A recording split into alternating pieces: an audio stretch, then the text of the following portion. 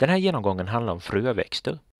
Växter med frön utvecklades långt senare än sporväxterna. De första fröväxterna var barrträd som utvecklades för minst 320 miljoner år sedan.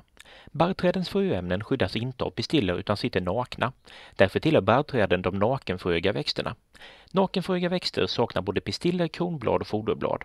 Fröämnen och frön är samlade i kottar och skyddas i viss mån av kottefjäll.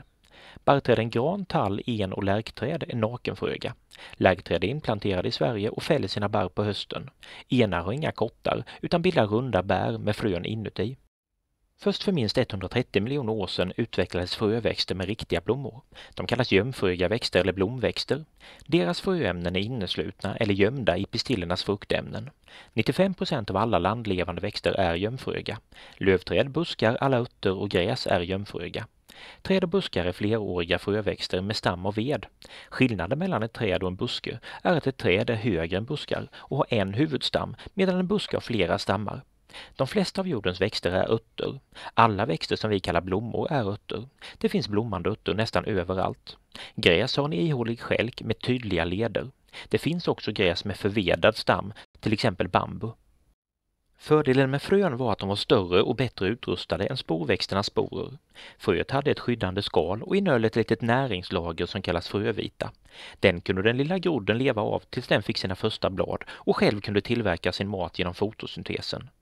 Fröväxter har både rot, skälk och blad och på så sätt så liknar de ormbunksväxterna. Det är däremot bara fröväxter som har blommor och som förökar sig med frön. Blommorna ser till att växten kan föröka sig och spridas. Det man först ser på en växt är ofta blommans kronblad. De ger blomman olika färger och former. Ibland är de skilda åt som hos vitsippan och ibland är de sammanvuxna som hos blåklockan. Under kronbladen sitter de gröna foderbladen. De satt tidigare runt den lilla blomknoppen och skyddade den innan blomman slog ut. Fröväxter har sexuell förökning. Inne i blomman mellan kronbladen hittar vi växtens könsorgan. De flesta fröväxter har både han och honorgan i samma blomma. Honorganet kallas pistill och sitter oftast i mitten. Pistillens övre del kallas märke och den nedre fruktämne. I fruktämnet finns ett eller flera fröämnen som innehåller äggceller. Hanorganen kallas ståndare, de är oftast många och sitter runt pistillen.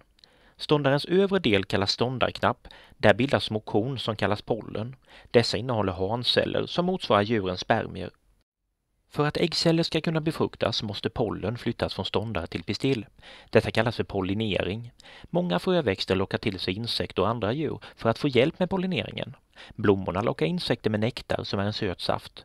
Blomdoften och de stora kronbladen talar om för insekter var nektarn finns och det är därför blommorna har så vackra färger och dofter. Själva pollenkornen är också en näringsrik föda. I Sverige är det oftast insekter som genomför pollineringen, till exempel humlor, bin, fjärilar och skalbaggar. I tropikerna finns det också fladdermöss och fåglar som kolibrier som är specialister på pollinering. För att komma åt nektarn måste djuren trängas med både ståndar och pistiller. När de rör vid ståndarna fastnar det pollen på deras kroppar. Pollenkornen kan sedan åka med till pistillerna på andra blommor. På så sätt är chansen för att pollenkornen ska hamna rätt större än om pollen sprids med vinden. Pollen gör ingen nytta om de sprids mellan olika sorters växter. Vi kan ta en blåklocka som exempel. Den slösar bort sitt pollen om detta hamnar hos andra blommor än blåklockor. Därför är det bra för blåklockan om den får besök av insekter som gärna håller sig till blåklockor. Samarbetet mellan växter och djur har bidragit till att det finns väldigt många olika sorters blomväxter. Det har utvecklats arter som var och en har blommor med en speciell färg, form och doft. Och detta för att växterna behöver vara specialister på att locka en viss sorts djur som trivs med just deras blommor. Alla fröväxter sprider inte sitt pollen med djur. En del använder sig av vinden. Det gäller till exempel gräs och många träd som björk och hassel. Eftersom dessa växter inte behöver locka insekter har de oftast små blommor utan färgglada kronblad. Många träd har ståndar och pistiller i olika blommor. Blommorna med ståndare kallas hanblommor och blommorna med enbart pistiller är honblommor. Hanblommorna sitter ofta tätt tillsammans i långsmala blomställningar som kallas hängen. Dessa hänger ner från grenarna och rör sig i vinden och på så sätt så sprids pollenkornen enkelt. Att sprida pollen med vinden är en slösaktig metod. De flesta pollenkornen blåser iväg utan att träffa andra blommor. Därför måste väldigt mycket pollen spridas för att några av kornen ska hamna rätt. Ett enda hänge hos björk kan sprida flera miljoner pollenkorn. Hängena sitter så högt att pollenet sprids så långt som möjligt. I början av sommaren kan du ibland se att allt blir täckt av ett gult pulver. Det är pollen från tall, björk och andra träd som sprids med vinden. Det är inte konstigt att pollen från just björk, gräs och andra vindpollinerade växter är till störst besvär för människor med pollenallergi.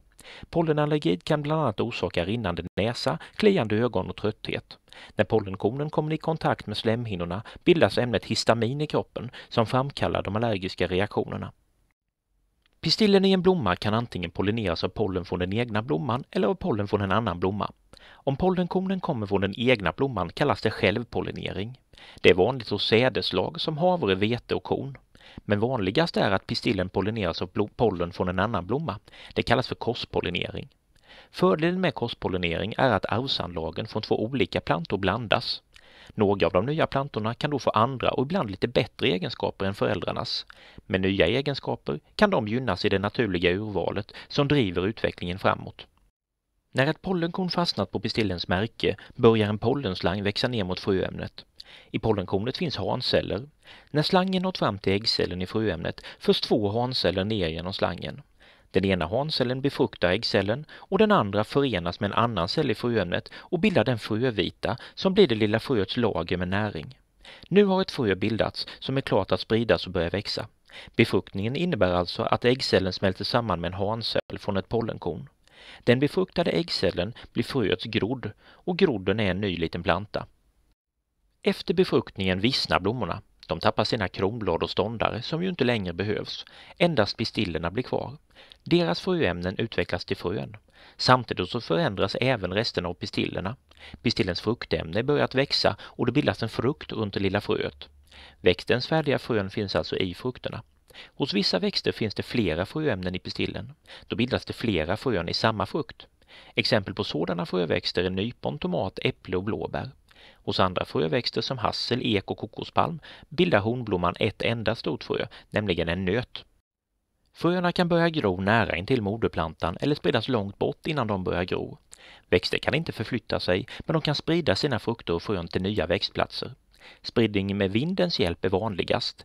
Många växter har små lätta frön som lätt fångas av vinden. Andra har frukter och frön med flygredskap som maskrosen och tallen. Du kanske har lagt märke till hur maskrosens små frukter svävar som fallskärmshoppare med hjälp av sina hårpenslar. Kokospalmens nötter färdas med vattenströmmar till nya stränder. Många växter sprider sig med hjälp av djur. Det gäller till exempel kardborrar som lätt fastnar med hela blomställningar i djurpälsar eller i människors kläder. En del frukter som till exempel hallon och körsbär smakar gott för att djuren ska lockas att äta dem. Hallonets frön passerar tarmkanalen utan att skadas och kommer senare ut med avföringen. När du äter ett körsbär och spottar ut kärnan så hjälper du växten att spridas. Hassens frukt kallas för nöt. Den äts gärna av ekorrar och andra gnagare. Bland annat ekorrar gräver ner och gömmer nötter i sina vinterförråd. Många gömställen glöms bort och då kan nötterna gro och bli nya hasselbuskar. Att frön sprids en bit bort från växten är bra av flera skäl. Dels kan den nya plantan få mer plats och ljus där den växer upp och dels får den mer näring från jorden än om plantorna växer alldeles intill varandra. När fröna spridits kan de börja gro. Tillsammans med grodden finns frövitan som är ett litet lager med näringen i fröet. Detta behövs innan grodden har blivit en planta som själv tillverkar näring. När fröet gror bildas först en liten rot med rotor som suger upp vatten till växten. Sen kommer de första bladen. De kallas hjärtblad eftersom de ofta är hjärtformade. Först då kan växten börja tillverka den mat den behöver för att fortsätta växa. Innan ett frö kan gro måste det hamna på ett lämpligt ställe. Det måste också vara lagom varmt och fuktigt. En del frön behöver en period med kyla innan de kan gro. På så sätt så väntar de med att gro tills efter vintern. Om de skulle gro redan på hösten riskerar de unga och känsliga plantorna att frysa ihjäl när vintern kommer. Vissa frön kan ligga i marken och vänta på värme och fukt i tusen år innan de gror. Fröväxternas livscykel kan sammanfattas så här. Pollen förs från en blommas ståndare till en annan blomma med hjälp av en insekt. Ett pollenkorn bildar hanceller som befruktar pistillens äggcell. Efter befruktningen bildar blomman en frukt. I frukten finns frön som gror och ger upphov till nya plantor. Plantan växer upp och får blommor. Många växter kan också sprida sig utan frön. Det kallas könlös förökning. Det kan räcka med att en liten del av växten faller av och börjar växa av sig själv. Ett vanligt sätt att få fler krukväxter är att klippa av en del av en växt och sätta den i jord eller vatten. Växtdelen, som till exempel kan vara ett blad eller en skälk, bildar då rötter. En sådan avklippt växtdel som utvecklas till en ny planta kallas för en stickling. Många växter skickar iväg liggande skälkar längs marken. De brukar kallas för utlöpare eller revor och är vanliga hos till exempel vitsippor, violer, jordgubbar och smultron. När utlöparen hittar en lämplig plats slår den rot och bildar en vanlig skälk med blad.